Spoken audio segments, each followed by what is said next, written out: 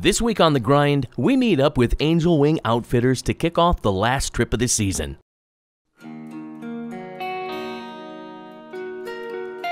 I yearn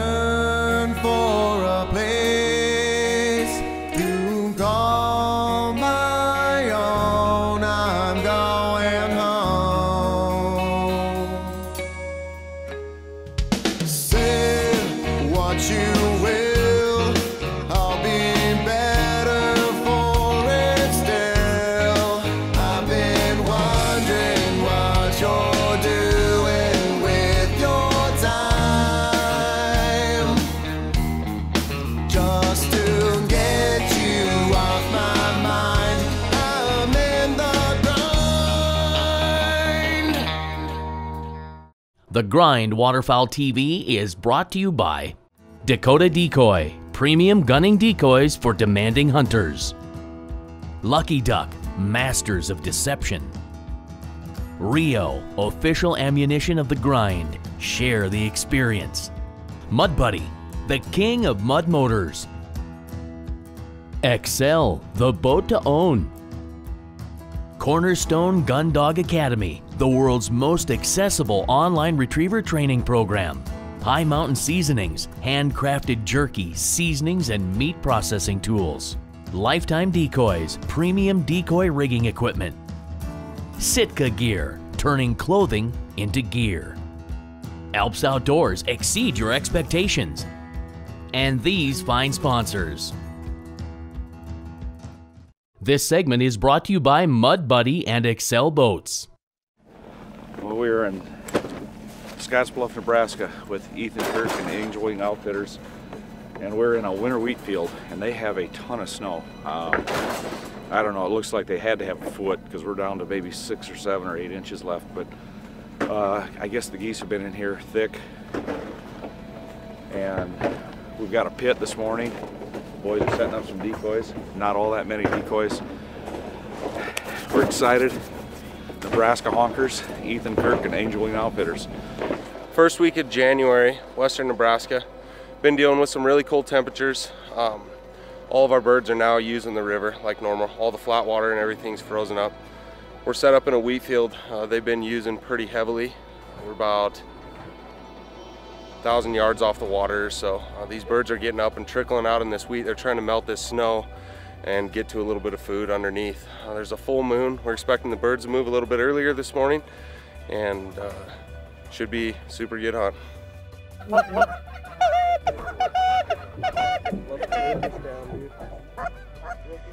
Uh, so day one, we uh, hunted this winter wheat field, and it's it's something special. Um, I've never really seen as many goose tracks as in one field as there are in this field.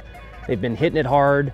Uh, temperatures have been really, really cold out here over the last 10, 12 days, and the geese are coming out trying to feed. And, and to see the number of birds that have been using this field, it was pretty, pretty special.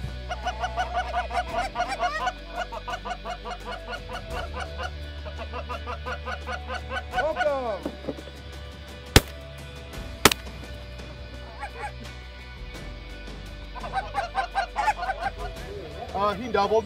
That's a double. Oh yeah. Gifted shot when they're 15 yards away. Heck, 15 yard hero. Here we go.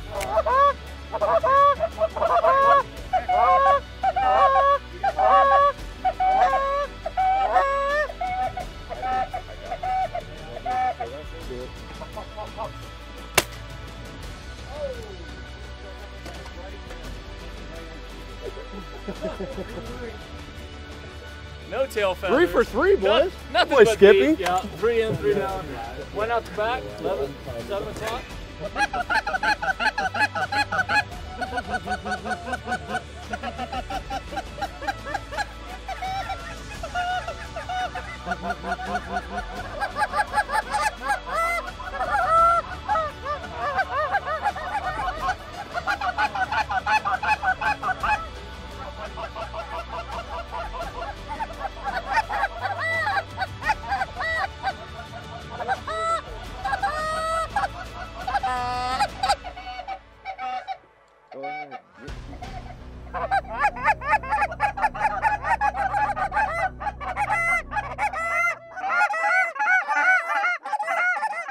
This segment is brought to you by Rio Ammunition. Like most places, cold and snow makes the hunting even more successful at Angel Wing Outfitters, but it also brings a very specific pattern. On cold mornings with fresh snow, it's practically law for these geese to hit winter wheat in the morning, then corn in the afternoon. So even with a full moon that morning, there was very little skepticism about it affecting the flight.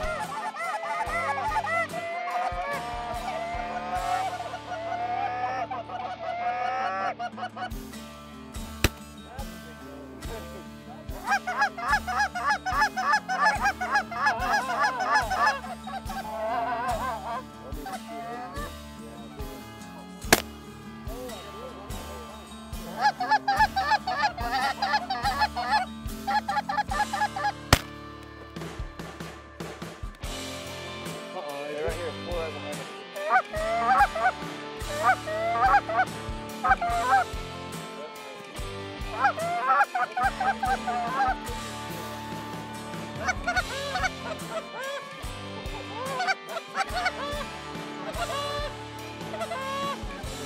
here.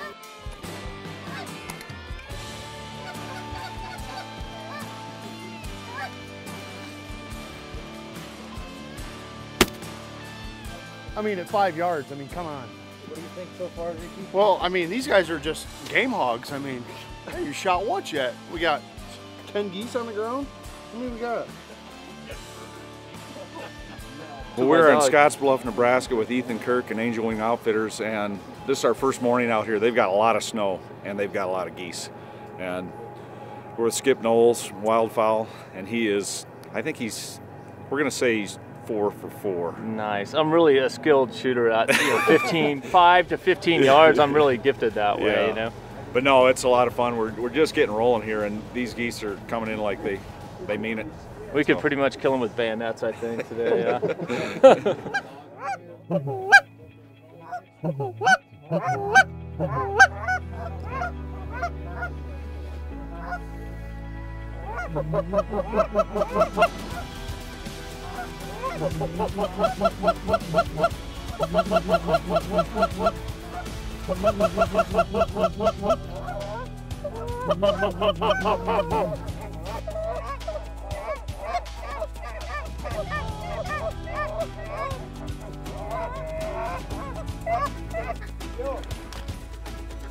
Oh, I can't even see them.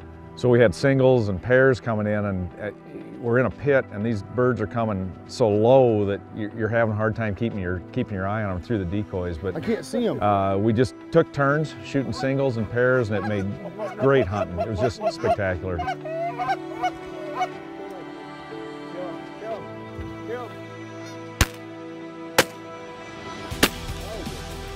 didn't want to shoot across you. heads up, heads up right here. Heads up right here. Yeah, we got them. Their average went down.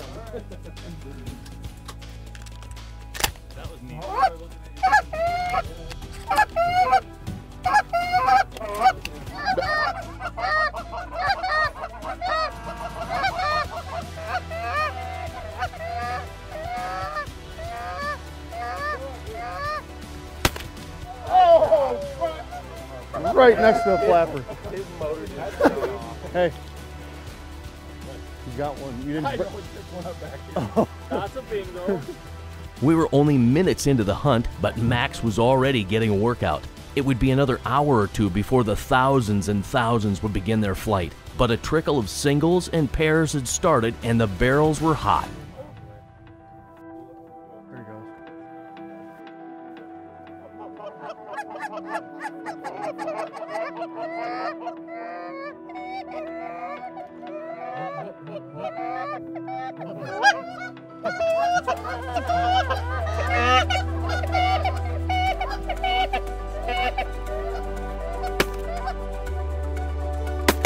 Not even a take them, just boom.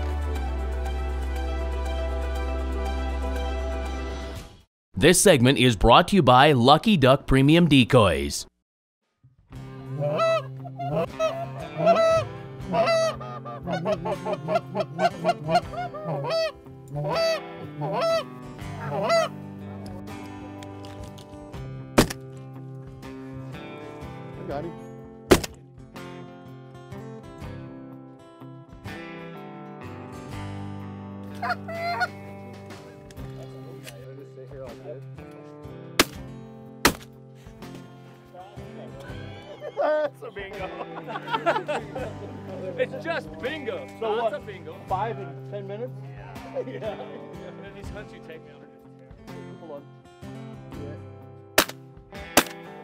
Oh, he back. you turned him completely around, like inside out.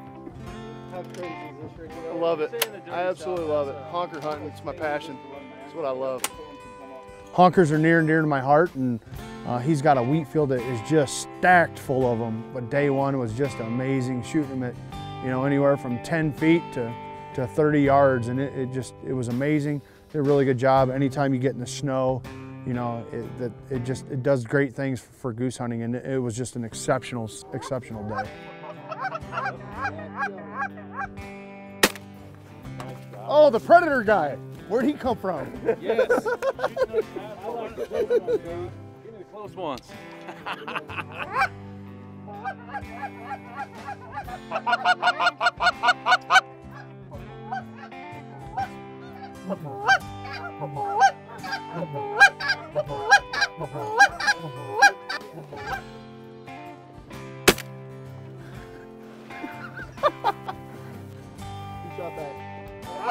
Ricky hogging them. After he, after he robbed my gun.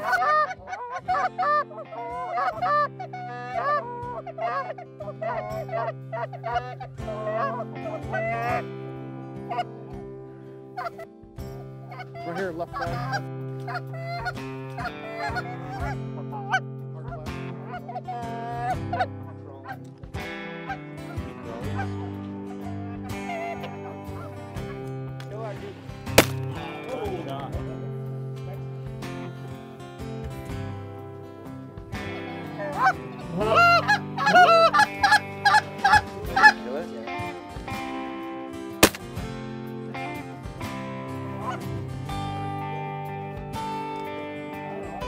Tim, Kevin.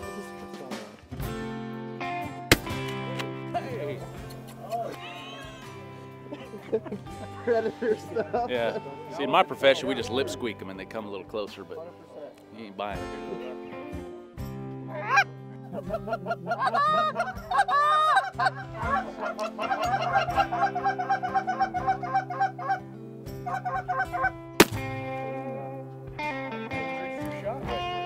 All right, Tim, you're up.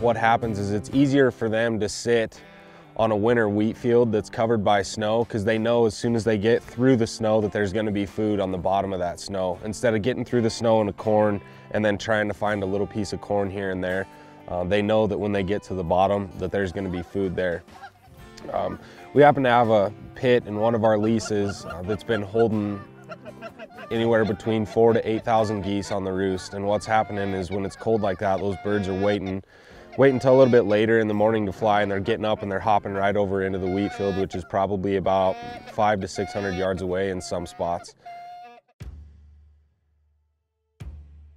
Hey guys, I'm Barton Ramsey with Cornerstone Gundog Academy, and this is a retriever training quick tip.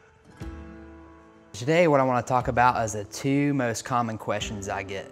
First question I get is, how long is it going to take me to train my dog? And then the second question I get, is it too late for me to start? So to answer the first question, it really depends on a few different things. You know, the first thing is, you know, how long do you have to train and how often can you train? The second thing is going to be, you know, what are you doing when you're out there training? You know, you're doing the right drills that are going to be right for you and your dog to get you to the next level. And then the last thing that really depends on is, are you doing the drills right? If you're performing everything right and you're performing the right set of drills, you're going to be more successful and probably get it done at a quicker pace. But for the average person, I would say it takes anywhere from six to 18 months, and that includes hunting as well every situation you're in with your dog, you're training no matter if you're hunting or if you're actually in the training field. A trained dog is a dog that's gonna listen to you in any environment you go to, whether you go to a place you've never been before, a place you've trained consistently, it's gonna stop to the whistle, take your hand signals, and you'll be able to perform blinds out to reasonable distances, as well as be successful in any hunting environment you go to. So to answer the second question, it's really never too late to start. If you have a puppy or even if your dog's older, the best thing I can tell you to do is just go ahead and start now. With an older dog, it's gonna take longer to condition the new habits because you have to get rid of the bad habits that you may have started if you haven't done any training. You know, we've taken dogs that are even three years old that aren't very steady, and we've actually been able to teach them to be steady as well as have them be really effective in the field.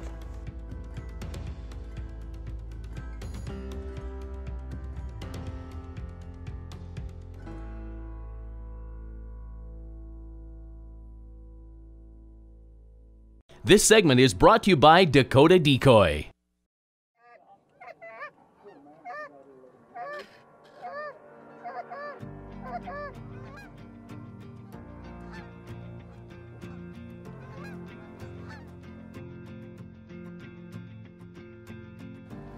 So late season waterfowl, they need two things. They need food and they need water. And this Platte River is a narrow, shallow, fast running river and it doesn't freeze.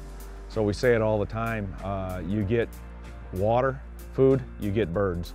And it's a unique area. The river never freezes and it fills up with honkers and mallards and it's a late season bonanza. You know, growing up here in the valley, you know, this, this was my backyard here. Um, special, special place to waterfowl hunt. We've got a lot of geese and ducks that, that really winter here. And, and to be able to come out and hunt with good friends in the industry, the guys with Dakota Decoys and Lucky Duck, and uh, it's nice to put the work down, come out and do what we love to do, and, and to be able to do it here on the Platte River is a special thing.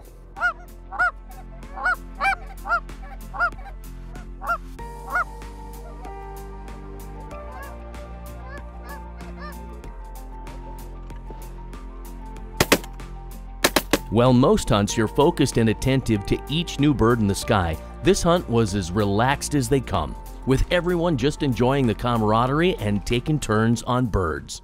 I mean, these birds are on the river, uh, they're hungry, uh, they've got a lot of snow out here right now, and it just turns them into a different creature. Um, it's survival mode they're in, and they get piled up here every year, and we this is our second year down here, and it's just phenomenal. We go all over the place, but there's something about this valley here.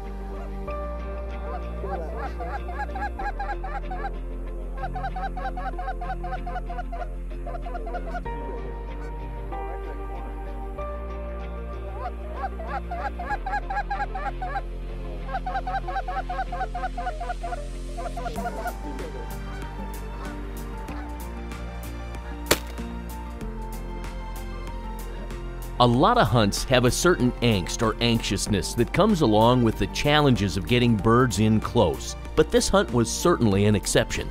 It's a rare thing to not worry about if the birds are going to cooperate, and even being a little lazy about covering pit lids and hiding cameras. Pretty awesome. We got geese all around us. And it's the big flocks haven't They even come yet. flown yet. It's like groups of twos and threes and fives and sixes every 30 seconds. It's awesome. I only got three shells in my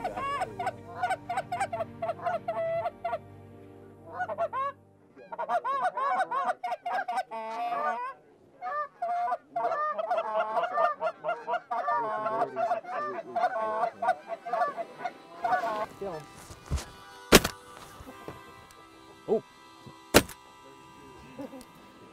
Um, but yeah, we, we come in here, the geese want to be in this field, and, and sometimes that's it. You know, we've got a lot of geese in the area, but finding the X, and we're certainly on the X. Ethan's got a, a great spot here, and, and we were successful day one. We were out there for about an hour and it was belly scraping along the snow. Uh, these geese were just coming right at us. It was cherry birds, you know, it was unreal. And we didn't have huge flocks, but we had onesies and uh, pairs and um, you know some triples in there that we were shooting. Um, and we limited out like in an hour. We're picking up, and then the big flocks start getting up and are all around us. And it's just amazing the number of birds, the number of geese that are in this area. Truly remarkable.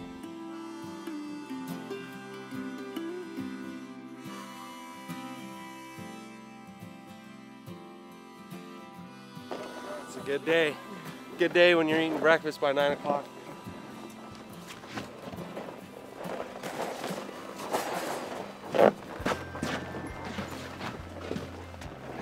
This was probably the best goose hunt ever. Awesome place. We were here last year, had a great time.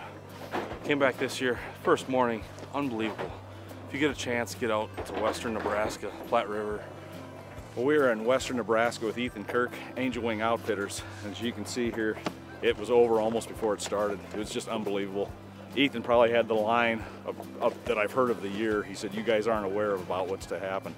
And he was right. So these geese want in here. It's a winter wheat field and they are bombing in here. We're gonna get picked up here, let them get back in here and feed and, and uh, get some breakfast. And Ethan's got a duck shoot for us this afternoon. So Western Nebraska, Angel Wing Outfitters.